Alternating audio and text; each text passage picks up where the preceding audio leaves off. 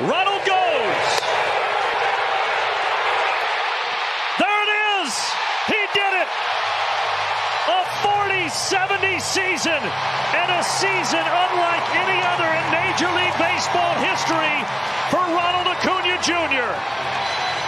Take the base and take a bow, number 13.